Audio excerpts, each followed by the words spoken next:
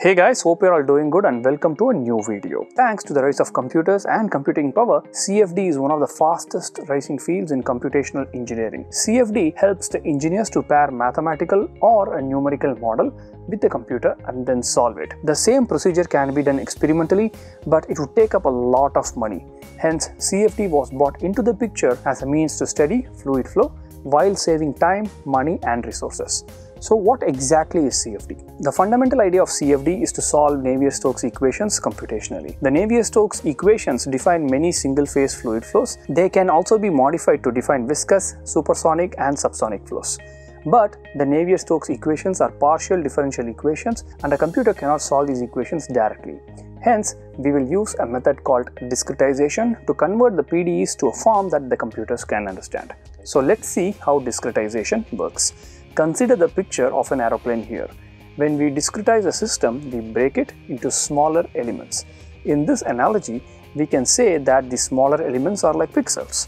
After breaking them into smaller elements, the governing equations are solved in each and every element.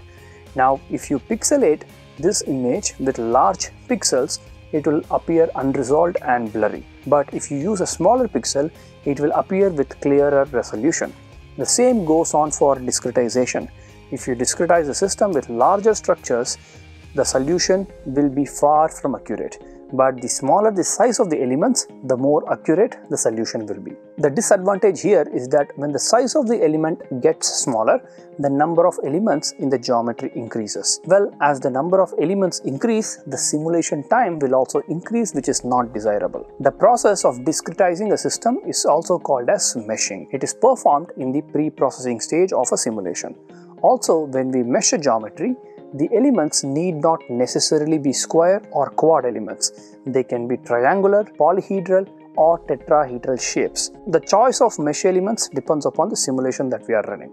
When we mesh a simple structure like a pipe or a block of metal, the process is relatively easy. But as the geometry becomes complex, meshing becomes harder.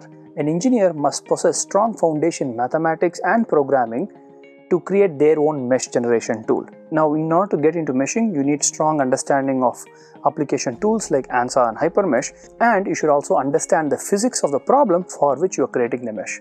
Alright, with that I would like to conclude this video. We have two amazing courses on ANSA and HyperMesh, and I'm pretty sure you would like it. Thank you, bye.